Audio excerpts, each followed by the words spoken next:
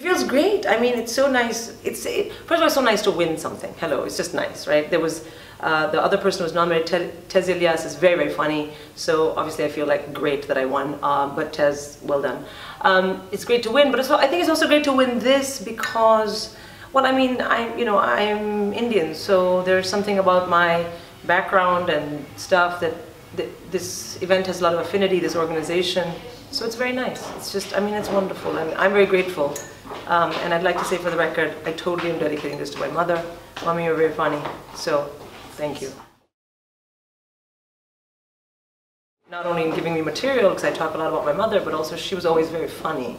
And when I came to this country, started doing comedy, people say, oh, well, you know, women are not funny. That's completely not true. Um, I think women are very funny. I think men are very funny too. But my mother was very funny. She always told funny stories. And even when she was telling us off, it was always with a very funny turn of phrase, which as a child you were like, oh my God, I hate this. But as a grown up, you think, that was really funny. So yeah, definitely.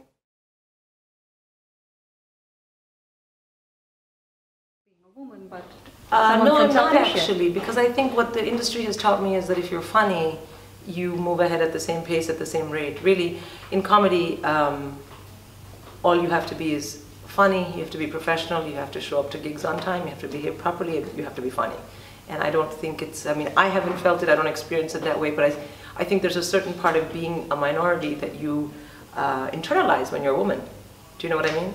But no, I honestly don't think, um, I don't think you have to be anything more than just funny.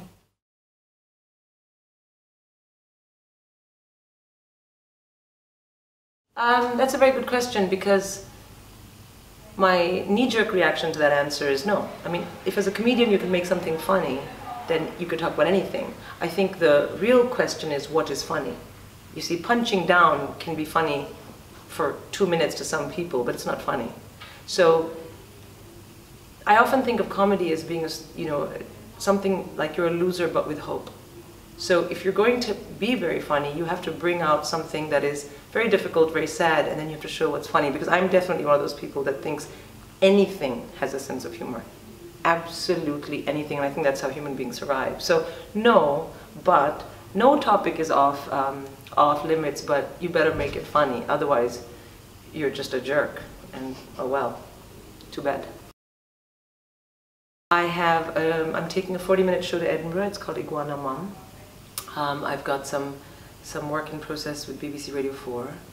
And uh, yeah, for the moment there's that. I'm thinking about doing uh, another script, but you know, all very early stages and I'm, uh, I'm incredibly lazy, so I'm worried about saying something and then five years from now you'll say what happened I'll say, oh, I watched a lot of TV. So yeah, those are the two things. And I think, you know, as a comedian, you're always working on material and eventually it'll go somewhere, it'll do something. So I'm working on staying funny.